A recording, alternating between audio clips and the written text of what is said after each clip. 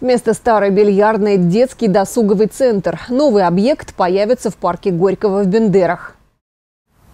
Бендеры парк Горького. В самом центре полуразрушенное одноэтажное здание. Построили его больше 40 лет назад. В 80-е и начале 90-х здесь была городская бильярдная. Любители погонять шары устраивали даже турниры. К середине 2000-х интерес к этому спорту угас и бильярдную закрыли. Долгое время служба благоустройства и озеленения хранила здесь свой инвентарь, а потом и она нашла место поудобнее. И вот уже больше 10 лет здание ветшает и разрушается.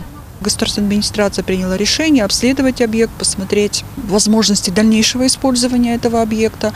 Но в рамках обследования проведен анализ и принято решение, что на ремонт требуются значительные суммы денег.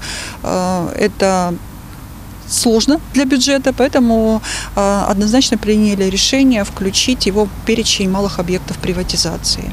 Проведена оценка объекта, объект выставлен на аукцион на продажу, и в настоящее время данный объект реализован.